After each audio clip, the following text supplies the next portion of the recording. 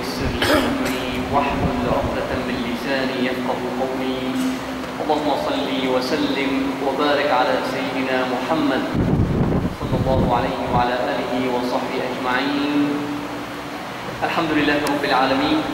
Kita memanjatkan segala kesyukuran kehadrat Allah Subhanahu wa taala yang menemukan kita setelah lama kita tak berjumpa.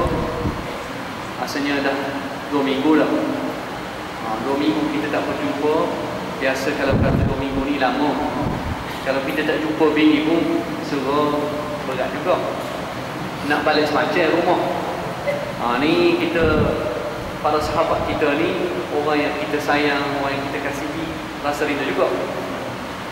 Uh, orang kata eh ustaz ustaz harap ni dah pergi KL tak saya balik tu. Ha, balik juga Alhamdulillah Alhamdulillah Rabbil Alamin uh, hari ni insyaAllah kita uh, akan dengar ceramah mengenai Rasulullah SAW uh, kita akan kongsi detik-detik kewafatan baginda Rasulullah SAW. Mungkin ramai di kalangan kita yang agak uh, tak biasa dengar cerita bagaimana Rasulullah SAW wafat. Bagaimana keadaan baginda SAW sebelum menyerahkan roh dia kepada uh, malaikat maut. Tapi sebelum tu saya kena bagi qasidah dulu lah. Takut nanti kecek lama suara sebelah tak keluar pula dalam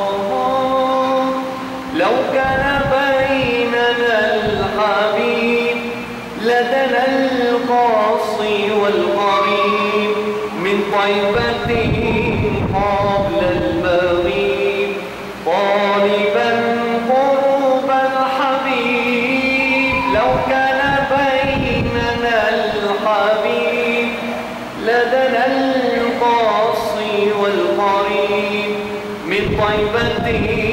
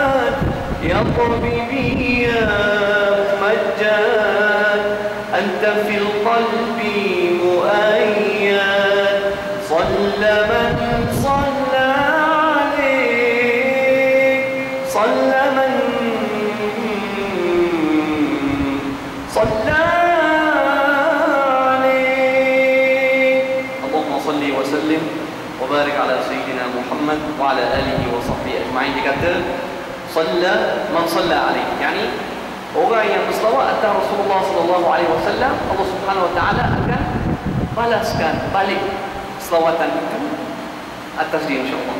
Baik. Sebenarnya tuan-tuan dan rahmati Allah Rasulullah sallallahu alaihi wasallam sangat menderita apabila kena penyakit demam. Ya. Sebelum Rasulullah sallallahu alaihi wasallam wafat, baginda alaihi salatu wasallam mengalami demam yang begitu terik, begitu teruk, begitu panas.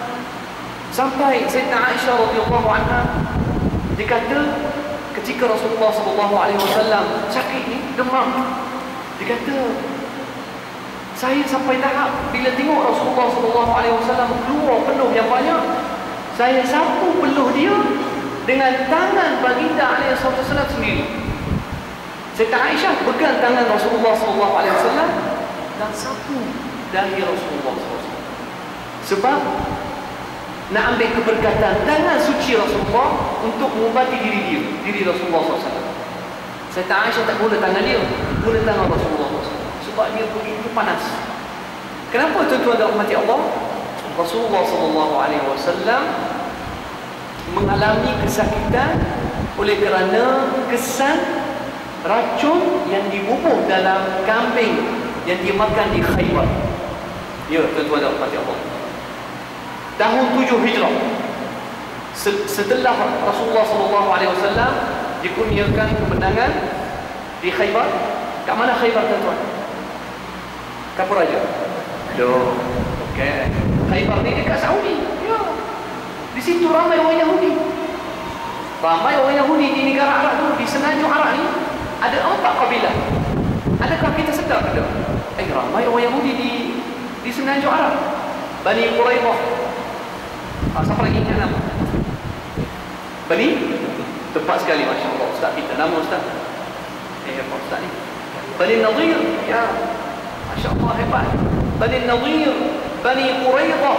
Bani Qaynuqa. Ni Arab Yahudi ni tuan-tuan. Wa Khaybar. Bani Khaybar.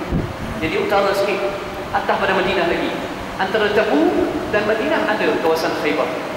Rasulullah SAW dapat kemenangan yang hebat kat situ. Tapi ada seorang wanita, orang Yahudi yang jahat. Seorang wanita, dia geram, dia sakit hati dengan Rasulullah SAW. Apa nama wanita ni? Ustaz tak banyak lagi nama Ustaz. Nama? Eh? Tak saya banyak. Oh, dia tawaduk Masya Allah. Dia tak saya banyak. Orang nanti angkat dia pula jadi nak mengajar. Orang dia tak sewa Dia kata, eh, bergerak juga saya. Nama wanita ini, tuan-tuan rahmati Allah, Zainab bintul Harith. Wanita orang Yahudi, nama Zainab. Zainab juga. Tapi jangan tukar pula dengan isteri Rasulullah. Di kalangan isteri Rasulullah, ada seorang wanita, nama dia Zainab bintu Jahsh radhiyallahu anha. Ini isteri Rasulullah. Ah, Zainab bintu Jahsh. Isteri Rasulullah. Hak ni Zainab bintul Harith. Wanita yang jahat. Isteri kepada Salam ibnu Mushkam. Ah, minta maaf. Nama Salam jangan marah. Ada nama Salam hak baik, ada hak jahat. Ah, Salam jangan marah eh. Ah, jangan marah. Nama sedap tu. Sebab ada di kalangan Yahudi yang masuk Islam jadi orang yang baik. Nama dia Abdullah ibnu Salam. Pendeta orang Yahudi yang percaya kepada Rasulullah SAW, dia pun masuk Islam. Ha, jangan silap eh. Ha, tu nama dia Salam Ibn Mushkam. Ketua Bani Khaybar. Dia memusuhi Rasulullah, Rasulullah SAW berat dia, Rasulullah menang. Ha, jangan tukar. Yang pendeta Yahudi yang masuk Islam, Abdullah Ibn Salam, seorang sahabat yang baik, yang ada ilmu banyak dalam At-Tawrah dan Injil dan Quran. Baik. Jadi wanita ini tuan-tuan dalam hati Allah, Zainab bintul Harith. Jadi siasat. Rasulullah SAW suka eh? Pakai apa? Dia tanya. Macam Ustaz Arab ni suka pakai bulu. Tapi Rasulullah SAW tak suka pakai bulu. Allah Allah tak tahu. Masa tu tak ada lagi bulu. Tak ada. Rasanya tak ada lagi lah. Si perempuan tu tak ada lagi. Dia tanya, kenapa dia buat Rasulullah SAW suka? Dia siasat punya siasat, rupanya Rasulullah SAW suka makan kambing. Kat mana bahagian yang paling Rasulullah SAW suka? Bahagian al-kitif, yakni bahu. Bukan bahu saya, tuan-tuan jangan tengok bahu saya. Jangan. Oh, bahu kambing paling sedap bagi Rasulullah SAW. Dia pergi ambil racun, racun yang paling dahsyat. Dia isi dalam kambing itu dan dia pula bubuh lagi banyak racun dalam kawasan bahu kambing. Sebab dia dah siasat. Kemudian dia kata, dia jumpa Rasulullah SAW. Kata, Ya Muhammad, aku buat makanan ini meraihkan kemenanganmu di Khaybar. Ha, tengok pihak Yahudi disediakan Maka Rasulullah SAW ada bersama sahabat tapi Pak paling dekat dengan Rasulullah yang makan kambing itu cepat seorang sahabat nama dia Al-Bara Ibnu Bishr. Eh, minta maaf Bishr Ibnu Al-Bara. Bishr Ibnu Al-Bara. Ingat nama ni tuan kita kalau nama sahabat tak ingat. Tapi nama pemain bola oh ingat lalu Apik ingat lalu ah, Mak Yu. Saya tak ada baru ni di pindah ke pasukan bola Indonesia pelita apa nama? Pemain hebat juga. Syafi'i ha Syafi'i ingat dah ingat belaka tapi saya pun ingat juga. Minat ha, bola Malaysia bola sepak. Jadi Al-Bishr Ibn Bara Ibn Ma'rur radhiyallahu an makan terus dia sakit rupah lagi punya kuah tapi Rasulullah sallallahu alaihi wasallam cubit sikit makan. Rasulullah sallallahu alaihi wasallam punya punya punya daging ni tapi ni daging ni bercakap tuan. Daging ni dia bercakap. Lain bukan macam kita kita jumpa kambing. Oh faham lalu mu kecek pun nak kecek kambing aku makan mu mungkin sedang.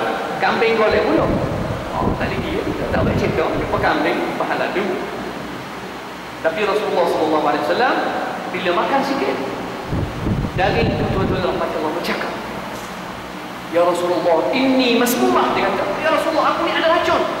Maka Rasulullah SAW terus buang. Buang daging. Tapi, kesan dia ada tuan-tuan dan puan Selama tiga tahun. Sebab peperangan Khaybar berlaku tahun tujuh hijrah. Tujuh lepas hijrah Rasulullah SAW. Dan kewafatan baginda alaihi wasallam berlaku hujung tahun 10 hijrah ataupun 11. Jadi tiga tahun kesan kesan racun yang dibunuh oleh orang Yahudi ada dalam tubuh Rasulullah SAW. Bila Rasulullah SAW sakit, dia mengadu kepada Aisyah, Ya Aisyah, Wallahi inni la ajidu alama al-aklati allati akaltu bi Khaybar. Aku masih rasa, masih rasa kesakitan makanan yang aku makan di Khaybar. Dia punya racun dia kuat sangat. Hatta innahu awan quti'a abhari sampai tahap tu dalam hati Allah. Rasulullah SAW dalam hadis yang sahih. Dia kata racun ini menyebabkan masuk sampai jantung Rasulullah dan memutuskan satu saluran. Nama dia Al-Abhar.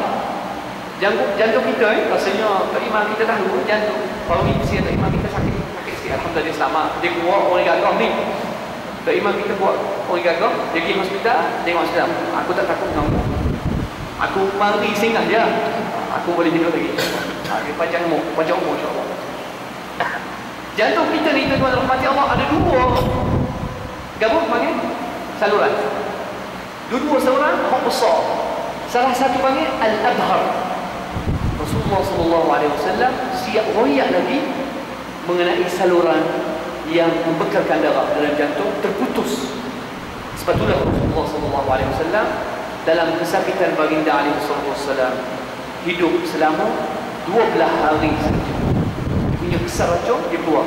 Jadi kewafatan Rasulullah sallallahu alaihi wasallam sebagai syahid ya tuan. Rasulullah sallallahu alaihi wasallam wafat tapi dalam keadaan syahid. Itu kelebihan bagi Rasulullah sallallahu alaihi wasallam. Setiap orang akan mati tuan. Tak ada orang boleh hidup. Sampai Rasulullah wasallam juga menerima dan sambung kematian. Apa Allah Subhanahu wa taala firman dalam Quran? Banyak dalam surah Al-Anbiya. "Wa ma ja'alna li basharin min qablika al-khuld." Tak ada siapa di kalangan manusia sebelum Muhammad yang kita berikan dia hidup al-khuld yakni hidup abadi tak ada tuan-tuan innaka maytun wa innahum maytun awak akan mati wahai Muhammad dan mereka juga akan mati ada ke di kalangan kita akan hidup tuan-tuan hidup sampai bila-bila tak ada ke tuan tak ada semua akan mati innaka maytun wa innahum maytun كل نفس ذائقة الموت كل نفس dan ada keturunan. setiap manusia setiap jiwa yang hidup yang bernyawa akan merasai kematian. Tapi itu tuan rahmat Allah kalau kita dengan Rasulullah sallallahu alaihi wasallam kalau katakan nak bandingkan nak bandingkan apa yang kata? Sakaratul maut yakni kesakitan kesengsaraan sebelum mati ini Rasulullah sallallahu alaihi wasallam lagi dahsyat. Ya tuan-tuan kita ni tak wajib tahu sungguh.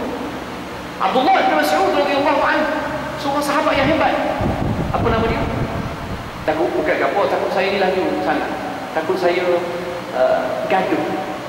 Kalau ni kat orang KL saya kata eh minta maaf kalau saya ni gaduh sangat eh tu ustaz tak gaduh. Ustaz bagus. Ustaz orang baik. Orang Arab suka gaduh ke ustaz? No. ok orang orang Kelantan gaduh ni maksudnya lorak dah. Kita kata Ustaz lorak apa lorak sangat derak derak eh derak derak betul. Takut nanti pergi KL duk suruh sangat orang Arab kecil Kelantan sampai sana? Orang Kelantan pun hmm kecil Kelantan tak betul. Ada takut gitu. Dia kena betul sini betul sini baru pergi KL tau betul sini baru kelima KL dia orang besar orang ajar kita kecil Melayu ini orang besar. Beliau banyak bantu. Rasulullah SAW tuan-tuan Allah bin Mas'ud. Apa nama dia? Abdullah bin Mas'ud ingat tak nama? ingat insyaAllah sahabat ini tuan-tuan rahmati Allah masuk nak melawat Rasulullah dia mari kat kepala Rasulullah dia rasa Ya Allah, Ya Rasulullah Innaka tu'aku wa'akan syadidah Ya Allah, demam panasnya engkau ya Rasulullah. Sakitnya engkau ya Rasulullah. Sakit teruk. Rasulullah sallallahu alaihi wasallam jawab, "Na'am. Inni u'aku kawa'ki rajulaini minkum." Aku sakit. Macam sakit dua orang di kalangan kamu. Kesakitan Rasulullah sallallahu alaihi wasallam sama macam dua orang kita sakit. Kita sakit tuan Allah. Kalau luka sikit, Allah demam tiga hari. Sakit. Aku lupa sikit lah. No. Sakit gigi. Allah buka gini. Tak mari dah masjid. Pergi kat bini. Tak apa pergi kat ni kita. Doktor apa paling sedap. Ya. Rasulullah SAW masa di Demam tu tuan. Masa di Demam, giliran dia di rumah Maimunah radhiyallahu anha. Ingat tak nama si Rasulullah? Maimunah. Rasulullah sallallahu alaihi wasallam ada banyak sirah. Ada Maimunah. Siapa lagi? Siapa ingat? Hafsah binti Umar. Naam. Oh, sudah hebat ini. Kita nak tanya nama dia tak sewa ya. Tak nak buat mana tak lagi. Hafsah binti Umar radhiyallahu anha antara isteri Rasulullah sallallahu alaihi wasallam. Maimunah. Siapa lagi? Safiyah. Ya. Safiyah binti Huyai binti Akhtar. Tuan-tuan rahmati Allah, jangan ingat orang Yahudi ini semua jahat, ada yang baik. Safiyah, isteri Rasulullah sallallahu alaihi wasallam daripada kalangan orang Yahudi. Tahu ke tak? Tahu. Tak. Aja tak ya. Safiyah binti Huyai binti Akhtar. Ayah dia seorang ketua juga di kalangan Bani Khaybar. Tengok, seorang wanita Yahudi yang jahat, seorang yang baik. Safiyah walaupun suami dia mati, ayah dia pun mati dalam peperangan dengan Rasulullah SAW, tapi dia tak simpan dendam terhadap Rasulullah. Safiyah, Rasulullah SAW kemudian muliakan dia dan kahwin dengan dia. Safiyah bintu Huyai, Maimunah, Saudah bintu Zum'ah, isteri Rasulullah juga. Aisyah binti Abi Bakr radhiyallahu anhu ini isteri Rasulullah hebat eh baik jadi Rasulullah wasallam kumpul bila dia dah rasa dia sakit rasa demam dia terlalu kuat maka Rasulullah wasallam kumpul semua isteri-isteri baginda Ali Pak apa? Pak apa dia kumpul tuan-tuan? Dia buat mesyuarat. Kenapa dia buat mesyuarat? Dia minta izin sebenarnya. Ha, tengok Rasulullah wasallam seorang suami yang adil. Kumpul semua isteri dia minta, boleh tak? aku nak minta satu permintaan. Ya Rasulullah, dapat dia permintaanmu wahai Rasulullah. Aku minta lau ta'dunna li an u'alaja fi bait Aisyah. Ah, satu permintaan. Kalau boleh benarkan aku aku nak duduk di rumah Sayyidina Aisyah radhiyallahu Aku nak dirawat di rumah Aisyah. Tengok, dia minta izin tuan-tuan sebab Rasulullah wasallam adil setiap malam mesti kena pergi rumah lain tapi masa tu dia minta lah, dia rasa ajal dah dekat, maka dia minta per permission. Ha, tengok. Ha, ada bini dua ke bini tiga dua, dia kena belajar dari Rasulullah sallallahu alaihi wasallam. Tapi rasanya semua bini satu dah. Ha, ni kita ni satu belakang. Eh, tak. Kalau ada dua. Eh, ada dua pun tak akan angkat tangan. Tak. Ada orang tidur belakang. Oh, jaga. Aku nak tunggu ni nak tahu nak pecah rahsia. Lah ni Ustaz Arab pun pecah rahsia. Dalam saya tak ada Bicara siapa lain Jadi Rasulullah SAW Minta izin Supaya dirawat Di rumah Aisyah radhiyallahu anha. Maka isteri orang lain semua izinkan Tak apa ya Rasulullah Maka Rasulullah SAW Keluar daripada Rumah Maimunah Pergi rumah Aisyah di Dibantu dua sahabat Rasulullah Ali ibn Abi Talib radhiyallahu anhu dan Abdullah ibn Abbas. Mereka tahun ni dah tanya dah rumah. Kenapa kalau kita tahu eh kalau kita letih eh di papat tau. Sekali tak ingat ada apa. Di papat oh, tepat sekali dia sama waktu. Mak ustaz, ustaz ni ustaz ke guru saya dalam masa ni. Boleh tak tahu? Tak boleh. Ha. Eh? Azhar, Ustaz Azhar. Eh? Ustaz tak isi kemasa Eh? Ustaz kemar Di pampah betul Ini ojak tu tapi tak ingat Moga tak buat syaitan kan Lama tak makan guru Rasulullah SAW di pampah Betul eh? Oleh Abdullah ibn Abbas anhu dan Ali ibn Abi Talib dan dia ikat kepala dia. Sebab sakit sangat tu. Pergi ke rumah Sayyidina Aisyah radhiyallahu. Bila sahabat Rasulullah tengok Rasulullah sallallahu alaihi wasallam dalam keadaan macam ni, ah dia orang dah start gelisah tu. Gelisah, risau sangat. Kenapa jadi macam ni? Jadi bunyi bising dalam masjid. Maka Rasulullah sallallahu alaihi wasallam nak keluar daripada bilik Aisyah kita tak buat tuan-tuan. Tak buat, tak mampu, letih, sakit sangat. Demam tu dah makan tubuh Rasulullah sallallahu alaihi wasallam. Maka Rasulullah sallallahu alaihi wasallam minta dengan isteri-isteri baginda, "Ahriqu alayya sab'ata qurab min al-ma'." Cubalah cuba atas diri aku tujuh tujuh botol air sebab panas terik. Eh boleh kata panas terik okey. Tak boleh. Panas sangat. Demam dia tu terlalu kuat. Kemaaf, bahasa tak kemat. Demam kuat tuan-tuan rahmati Allah sampai Rasulullah wasallam minta dengan isteri-isteri baginda supaya hiu eh eh bukan hiu jiru ah jiru air. Jiru tujuh. Nak kata bukit botol dia macam biasa orang Arab dulu dia ada macam tembayang tau dia simpan air. Tapi air berlainan daripada tujuh air hak lainan maka isteri Rasulullah SAW dia kata Aisyah dia kata kami duk jiruh air atas Rasulullah SAW sampai ditunjuk. Ada tu. Aku cukup dah. Baru Rasulullah SAW bangun dipampah juga oleh dua sahabat Abdullah bin Abbas dan Al-Fadl Ibn Abbas. Dua sepupu Rasulullah SAW dan keluar naik mimbar duduk dalam keadaan demam tak bermain. Dia kata ayuhan nas la'allakum tahzanuna alaikum nampaknya kamu sedih kerana aku sakit. Dia orang kata, ya Rasulullah, kami sedih. Maka Rasulullah SAW kata, Ayuhan nas, Mawaidukum ma'ya laysa al Perjanjian bertemu kita bukan hari ini.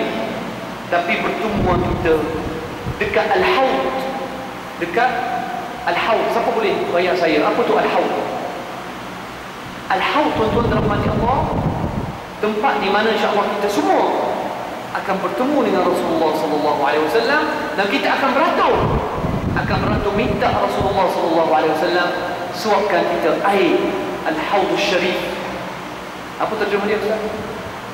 Ustaz? Haud dia macam kolam, kolam. Kolam. Kolam, kolam. Tapi kolam suci. Al-Haud Syarif. Kan kita doa, Allahumma lepas azan kita doa, Allahumma sqina syurbatan min yadihi syarifah ya Allah. Kurniakanlah kita satu suapan daripada tangan suci Rasulullah sallallahu alaihi wasallam. La nadma'u ba'daha abada. Maka kita insya-Allah bila minum tidak akan rasa dahaga langsung. Itulah suapan daripada tangan Rasulullah sallallahu alaihi wasallam.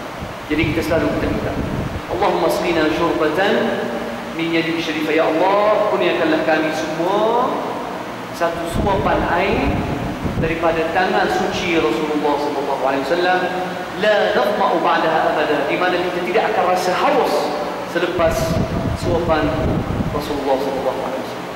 Jadi Rasulullah SAW banyak pesan kepada para sahabat, pesan kepada semua sahabat dia kata mal faqra akhafu alaikum. Ini antara pesan Rasulullah SAW tuan-tuan yang sangat penting. Rasulullah SAW pesan dia kata mal faqra akhafu alaikum. Bukan kemiskinan yang aku risaukan kamu. Bukan faqra, bukan apa? keadaan fakir yang aku risaukan kamu walakin akhsha an tatafattaha dunya alaikum aku takut dunia ni terbuka seluas-luasnya depan kamu terbuka dengan hiasannya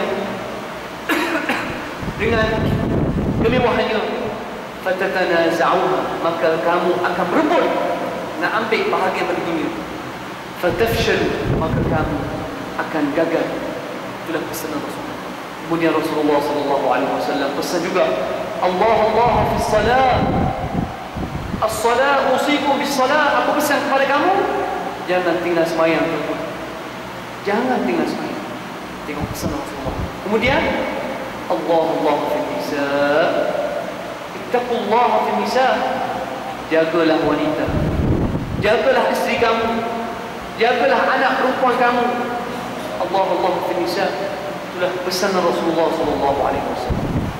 Pesan yang cukup penting untuk rahmat Allah. Semaya dan juga jagalah kaum wanita. Tengok. Siapa ni wanita tuan? Bukan dewan yang kita tengok kat tepi jalan ni. Bukan. Tapi isteri kita. Anak perempuan kita.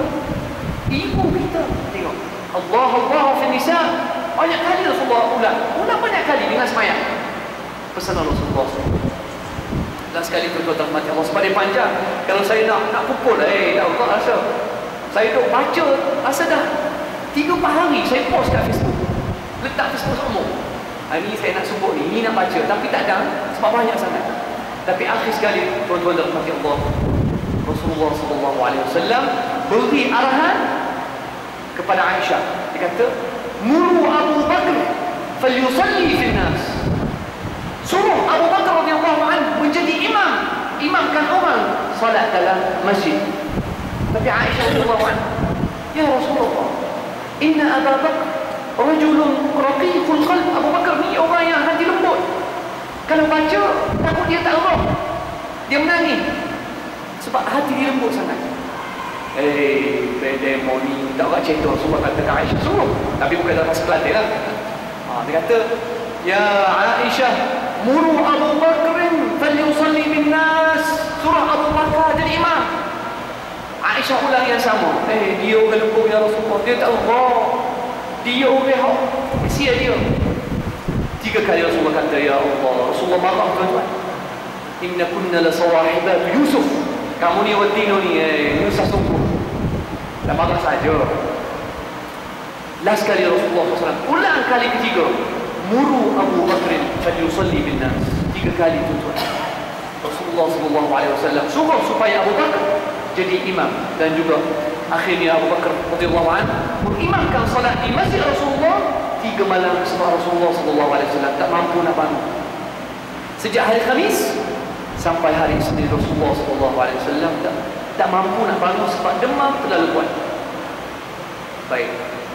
Hari apa Rasulullah sallallahu alaihi wasallam wafat tuan biasa kita tahu. Hari kelahiran baginda sallallahu kita hafal dah tak tapi bila Rasulullah sallallahu alaihi wasallam siapa ingat? Eh? Hari Isnin tepat sekali Ustaz. Ustaz yang tak nak yang nak. Hari Isnin ya tepat sekali. 12 Rabiul Awal juga Rasulullah sallallahu alaihi wasallam wafat. 12 Rabiul Awal. Masa bila?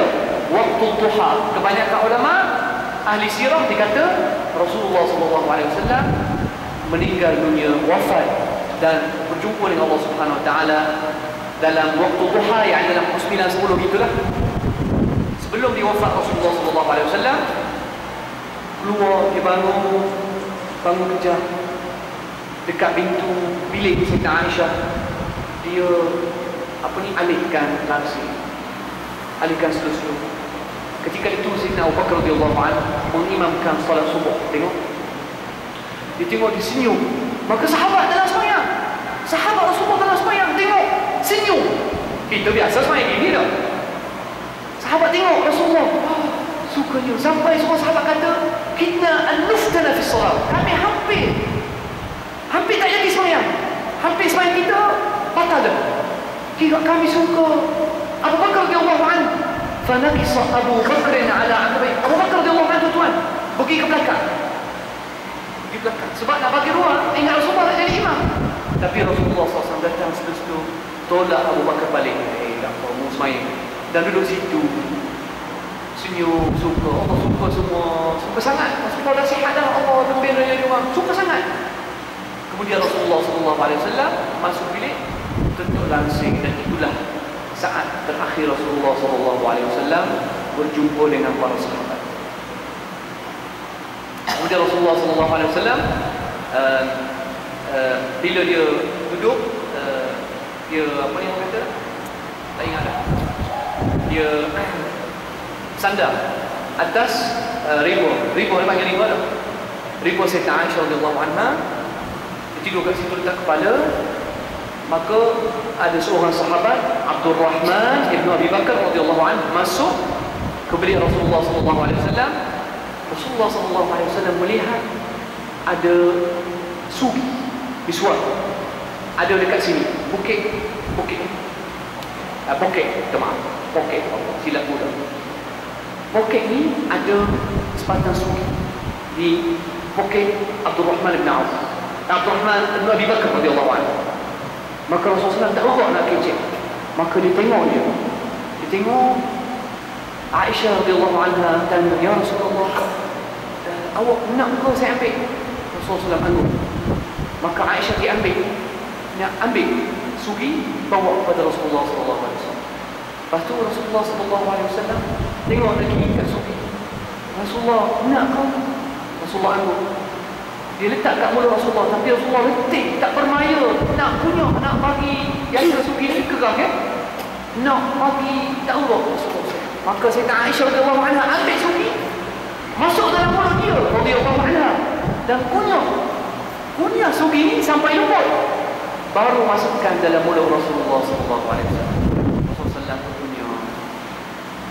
Last sekali tuan-tuan rahmati Allah Aisyah radhiyallahu anha kata kalimah yang last Rasulullah sallallahu alaihi wasallam yang sabda yang berkata balir rafiqul a'la. Tubuh Rasulullah sallallahu dah mula berat Rasulullah sallallahu angkat tangan dia kata balir rafiqul a'la. Aisyah kata عند ذلك عرفت أنه يخير ketika itu aku tahu Rasulullah sallallahu alaihi wasallam sedang diberikan pilihan. Sebab setiap nabi itu rahmati Allah akan diberikan pilihan nak dunia ataupun nak jumpa dengan Allah Subhanahu wa. Maka Rasulullah sallallahu alaihi wasallam menjawab, "Balir rafiqul a'la." Aku nak dengan Allah Subhanahu.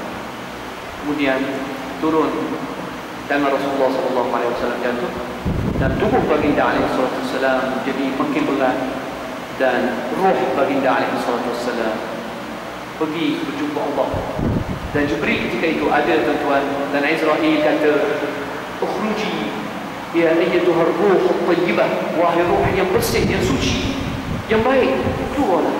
Irji'i ila rabbiki radiyatan madiyah kembalilah kepada Allah Subhanahu wa taala. Dan ketika, itulah tuan-tuan rahmat Allah Rasulullah sallallahu alaihi wasallam serahkan rohnya dan wafat kemudian Sayyidina Aisyah radhiyallahu anha tengok Rasulullah dia tak tahu nak buat apa dia dalam keadaan kupu kapal last kali dia keluar dia buka langsir dia kata laqad tuwfi Rasulullah sallallahu alaihi wasallam. Bila dia wayang itu tuan-tuan rahmat Allah Madinah macam ibarat dah gegar. Satu gegaran. Sahabat Rasulullah SAW dalam keadaan tidak mempercayai berita kewafatan Rasulullah SAW. Terkejut. Ali radhiyallahu an jatuh. Rupah lalu duduk bersandar kat, kat dinding. Sayyidina Umar radhiyallahu an eh dah dia kata Muhammad lam yamut. Ma mata Muhammad dia kata Muhammad tak mati, tak wafat. Muhammad dhahaba li yuqabil rabbah. Muhammad pergi jumpa Tuhan dia. Tak mati. Muhammad pergi jumpa Tuhan dia seperti Musa alaihi salam pergi jumpa Allah Subhanahu wa taala. Lepas tu dia akan balik. Muhammad tak wafat. Tak ada orang tuan-tuan. Semua dalam keadaan gelisah. Tidak mempercayai berita wafat Rasulullah wasallam. Siapakah dia sahabat yang betul-betul gemah, yang betul-betul berdiri stabil, tegak dan menghadapi situasi. Siapa dia tu? Abu Bakar Siddiq radhiyallahu anhu. Terima kasih banyak. Ustaz kita. Abu Bakar Siddiq radhiyallahu anhu satu-satunya sahabat yang jalan masuk masuk terus bilik Sayyidina Aisyah. Buka selimut tengok muka Rasulullah dia cium dahi Rasulullah. Dia kata ma atyabaka hayyan wa maita betapa indahnya betapa wanginya wahai Muhammad. Hidup dan mati. Kemudian dia keluar. Dia kata naik mimbar. Ayuhan nas man kana fa inna muhammadan qad mat wahai manusia siapa yang menyembah kepada Muhammad? Maka Muhammad telah wafat. Wa man kana ya'budu Allah fa inna Allah hayyun la yamut. Siapa yang menyembah kepada Allah maka Allah Subhanahu wa taala hidup tidak akan mati. Kemudian Abu Bakar radhiyallahu anhu membaca ayat yang paling beliau tuan rahmat Allah. Pada a'udzu billahi minasyaitonir rajim wa ma muhammadun illa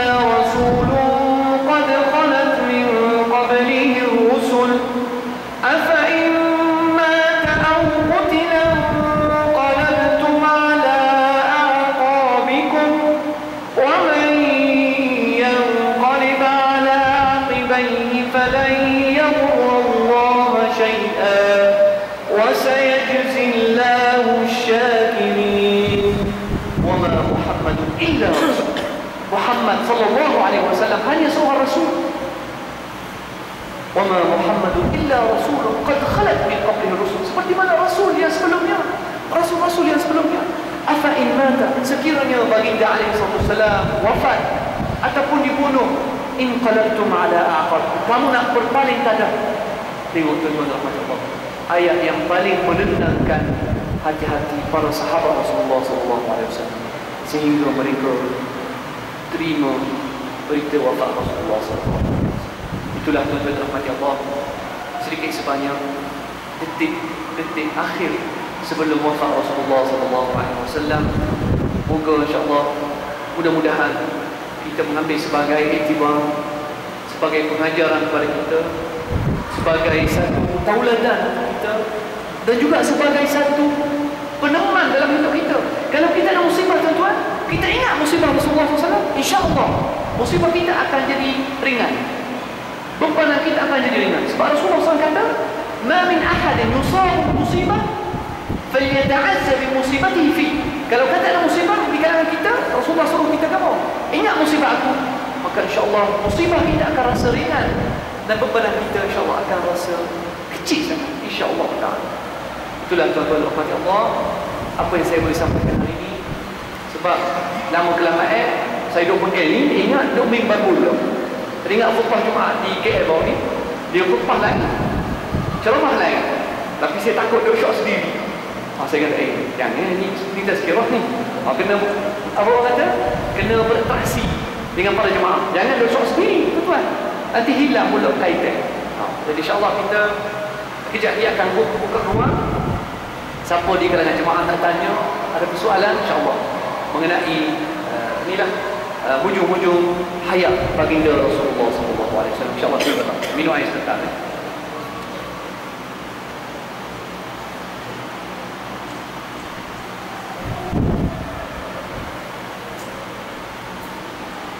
InsyaAllah ada satu kesidah sebelum kita. Ah, sisa. Sila. Assalamualaikum.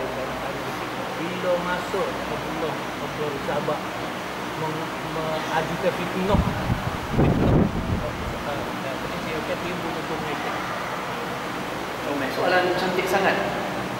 Ada seorang di kalangan Yahudi, orang Yahudi yang jahat, yang masuk Islam, memeluk Islam, tapi atas dasar yang jahat. Niat dia jahat. Abdullah bin Sabah al-Yahudi, orang Arab daripada Yaman, dia asal Yahudi, memang dia awal-awal lagi menanam kebencian terhadap risalah Nabi Muhammad sallallahu alaihi wasallam. Maka dia masuk dalam Islam kemudian dia mula buat fitnah. Sebenarnya fitnah seperti mana ustaz kita bayar tadi? Nama ustaz Zakaria.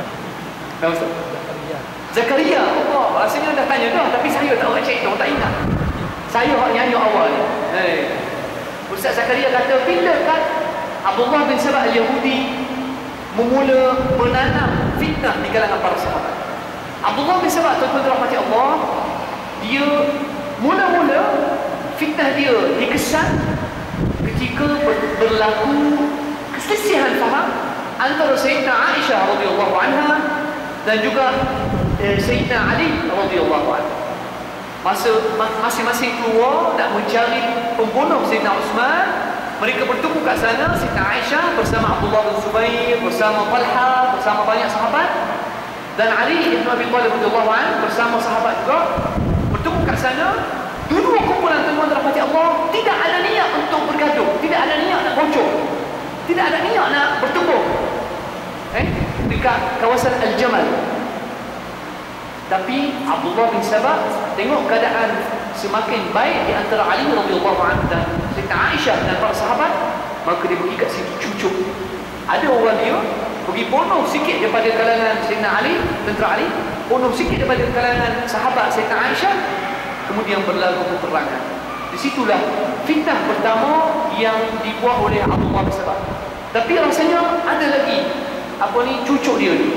Abdullah bin Sabah ketika Sayyidina Osman radhiyallahu anhu dibunuh rasanya dia pun ada ada tangan dia untuk me- me- mencetuskan fitnah di zaman Sayyidina Osman radhiyallahu anhu. Soalan yang baik. Ya. Ah, rasanya masa Rasulullah SAW dia tak berani nak, nak lakukan wafat dan nak melakukan fitnah. Tak masa Rasulullah SAW sakit dia tak berani uh, tapi lepas tu lah Wallahu a'lam. Masa zaman Sayyidina Zainal Umar pun dibawa fitnah. Ha, tengok saya tak ingat. Zaman Sayyidina Umar pun dibawa seorang nama dia Abu Nur Al-Majusi yang menikah Sayyidina Umar radhiyallahu. Ha, dia pernah ada juga kaitan dia. Banyak fitnah dia Abdullah bin Sabah Al-Yahudi. Wallahu a'lam. Masih banyak Ustaz Zakaria. Saya ada satu qasidah insya-Allah.